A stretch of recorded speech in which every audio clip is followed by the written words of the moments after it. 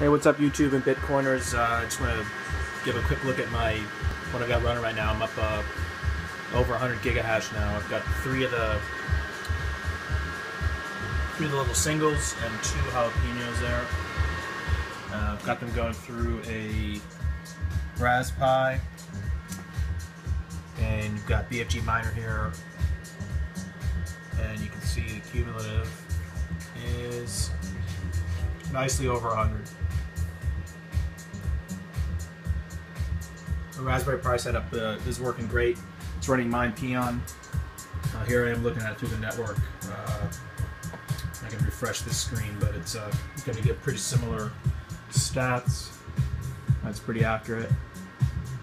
And so we'll see. We'll see if this craziness pays off.